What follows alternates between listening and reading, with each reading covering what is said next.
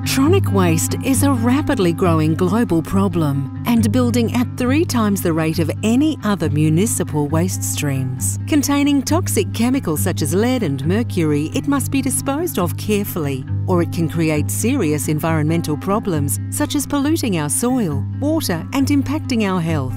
When e waste is disposed in landfill, valuable materials such as silver, gold, and rare earth metals are lost forever. Here at BD, we are determined to do something about it.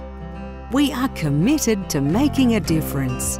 At BD, we understand that our customers juggle a lot of responsibilities at work. As new pumps and devices arrive, the disposal of old devices can present challenges.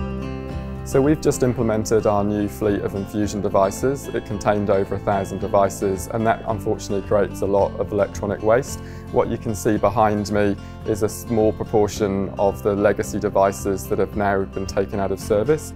They do contain um, clinical software, but they also contain network configuration software and therefore it's really important for cybersecurity and other data privacy laws that we ensure that the devices have appropriate disposal. And one of the other opportunities would be donating the assets to another healthcare provider, but these are an end-of-life infusion device. That's the reason we've replaced them and we don't feel we should be passing on infusion devices that have reached the end of their working life.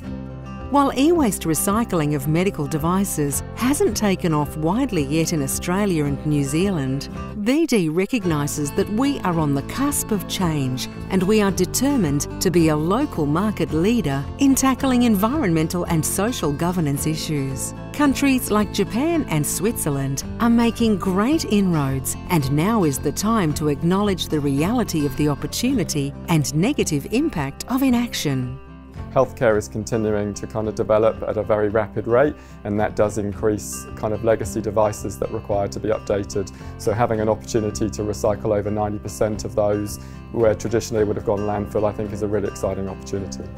So enabling us to meet our sustainability goals and working as part of this programme is meaning we're part of the solution and that we're not creating future problems. The recycling solution will evolve influenced by each country's available infrastructure and technology, as well as legal framework, but the signs are promising and the wheels to reduce e-waste are in motion. BD has partnered with two reputable recycling companies in Australia and New Zealand to explore the recyclability of our infusion pumps and in the midterm, BD wants to provide better product stewardship and create a more sustainable solution. Well, Abilities is a registered charity and we're dedicated to enriching the lives of people with disabilities. Right, with the BD pumps, the, the, first process is a total dismantling. We send the circuit boards up to Japan and they recover 28 precious metals from those circuit boards. The plastic casings and what have you are going up to Malaysia where they are reground and there's a, uh, a pump and a motor and they're recycled locally.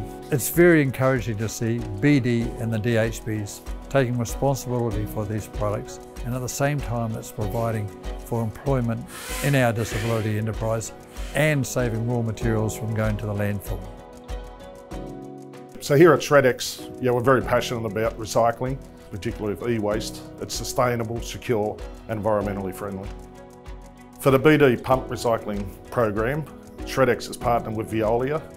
Now the main recyclable parts in these specific BD pumps is metals, plastics, CPU boards. Yeah, so the precious metals are a combination of gold, platinum, platinum, copper, silver. So there's quite a range that are refined out of them. Serial numbers are obtained that are added to a report and then the data is securely destroyed.